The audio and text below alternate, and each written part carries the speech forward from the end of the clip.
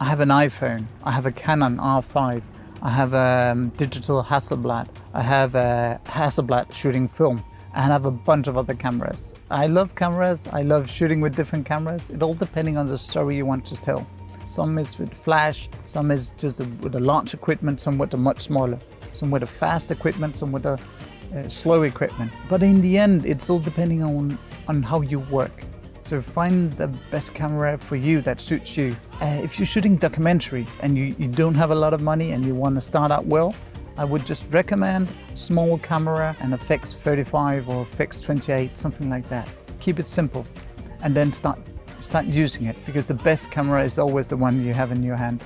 Using the right lens is super important because you might get a close distance with a long lens like a 100 millimeter, 200 millimeter, but that's the, kind of the beauty of photography. It reveals you. So if you're shooting on a distance, it will feel distant. If you're shooting close up, it will feel like you're close. I often use just a 28 millimeter, 35, 50. Um, that's that's the lenses I use in documentary photography.